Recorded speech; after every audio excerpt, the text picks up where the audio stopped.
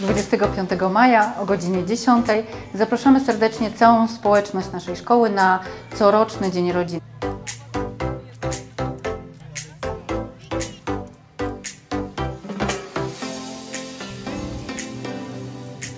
tą zabawę w gronie rodzinnym, e, babcie, dziadków, wujków, e, ciocie, rodziców, e, mamy, taty, dzieci, kuzynów. E, Będziemy się dobrze bawić, rywalizacja będzie e, w formie zabawy, bo to jest najważniejsze. Dzieci kontra rodzice, rodzice kontra rodzice, wspólnie będziemy poszukiwać rodzinnie skarby i tutaj będzie wielka niespodzianka. Zobaczymy, której rodzinie najszybciej uda się dotrzeć do skarbu.